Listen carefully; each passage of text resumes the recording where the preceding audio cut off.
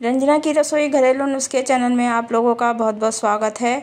आज मैं आप लोगों को बताऊँगी ग्लेक के पानी पीने के क्या क्या फ़ायदे हैं। अक्सर गर्मियों में हमें बेचैनी, घबराहट और हमारे जो हाथ पैरों में दर्द होता है और हमें काम करने की बिल्कुल भी इच्छा नहीं होती। तो ऐसे में आप क्या करें, थोड़े से आपने गिले के पत्ते लेने हैं और उसको अच्छे से धो लेना है और धोने के बाद हम क्या करेंगे, इस पानी को जो है उबालने के लिए रख देंगे। तो यहाँ पर मैंने एक पैन लिया है और पैन में मैं सारे पत्तों को डाल दूँगी।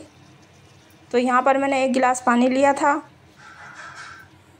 और इसमें मैं तीन चार पत्ते डाल दूँगी, जितना मुझे ज़रूरत पड़ेगी, मैं उतना ही इसमें पत्ते डालूँगी और इसको मैं क्या करूँगी, अच्छे से उबाल लूँगी और तो यहाँ पर ये जब अच्छे से उबल जाएगा तो इसमें मैं थोड़ा सा डालूँगी जीरा तो आप चाहे तो इसमें अजवैन भी डाल सकती है, लेकिन मैं जीरा इसलिए डाल रही हूँ कि कई बार ये होता है कि हमें खाना खाने की भी इच्छा नहीं होती।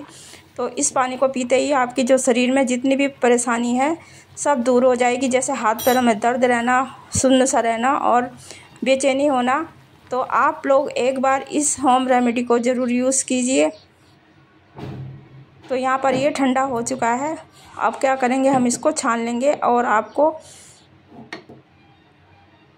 बताऊँगी कि किस तरह इसको पीना है। तो यहाँ पर हमने एक गिलास पानी लिया था तो उसका हम, इस पानी को हमने अच्छे से छान लिया है और छान के देख सकते हैं, आपने इतना पानी लेना है।